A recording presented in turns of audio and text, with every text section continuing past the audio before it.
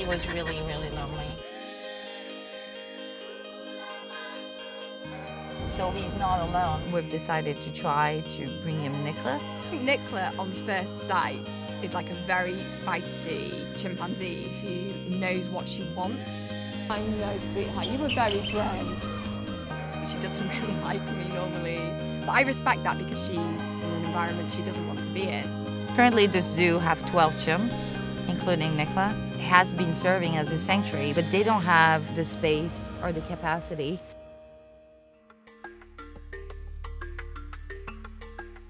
The plan today is to try and introduce Samba to Rambo. So this is going to be the first time she's met a chimp, so this is a massive day for Samba. Yeah, it's very motherly. It's like you're trying to do the best for them, and sometimes it works, sometimes it doesn't. Ouvrez! Ouvrez ta porte! With an introduction, initially it might be a bit negative, so like everyone's sizing each other up. And it takes somebody to move through that and be willing to offer the kind of sign of peace. This is her first time meeting another chimp since she was a baby. So it's, oh, he's, he's offering her his hand.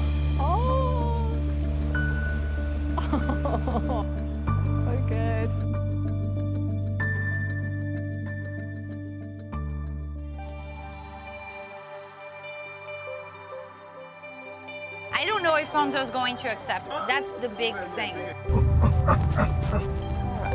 I don't have children, so I don't know how it feels to be a mother. Yeah.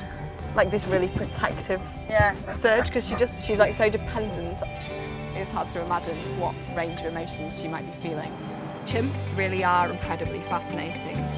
When you look into their eyes, like they're looking back at you. Within this really big, powerful body, there's this really emotional centre. We don't want to wake up Bonzo. So we really don't want to make too much noise. Feel right. It's going to be a big problem. It's not going to let us do it.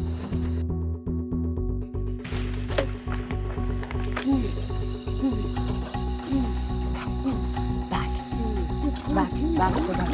Oh,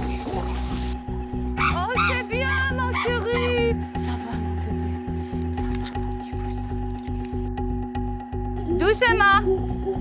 Bébé. Bébé, doucement. There's way too many people. Please turn off.